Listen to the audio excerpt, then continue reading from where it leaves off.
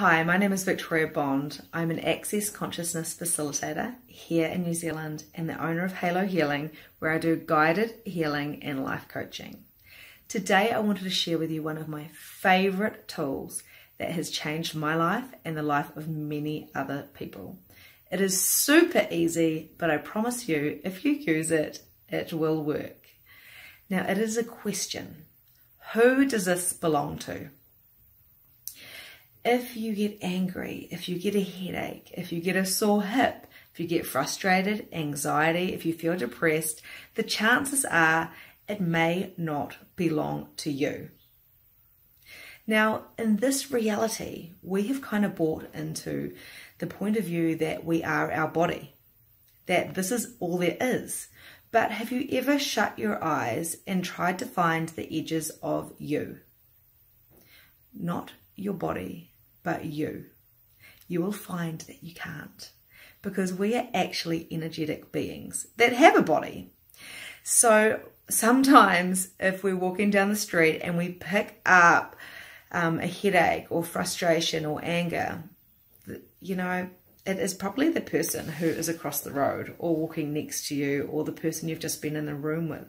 Have you ever been into a house and not liked the vibe of the house? Or if the phone rings, you know exactly who it's going to be. Or have you ever had a dream about somebody and you actually felt like you were with them and then all of a sudden they pop back into your life?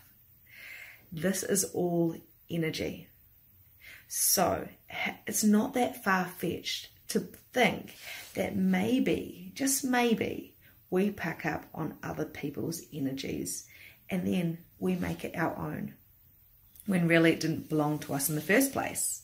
So when we say, who does this belong to? Our brain starts to work in a different way and we can start figuring out what really is ours. If you do this for three days, your world will change. Also, I just want to invite you to really think about the possibility of all of the conditioning that we've had during our lives we are born and we've got to learn how to talk and walk and eat, and that's all fabulous. But we also pick up limitations and judgments from the people that we learn from. Those things are not that great and they don't serve us all of the time. So when you find yourself going into limitation or judgment of yourself or judgment of others, ask the question who does this belong to? And you can even throw in there return to sender with consciousness. So it can actually go back to that point of creation to the person that it truly belongs to. And then they have the choice because they can become more conscious of it themselves.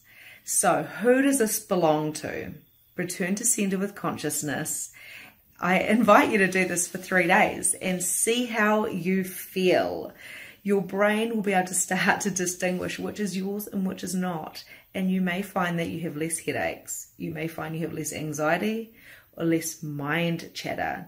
And you will have more time to be free and to choose for yourself with less judgment and less limitation.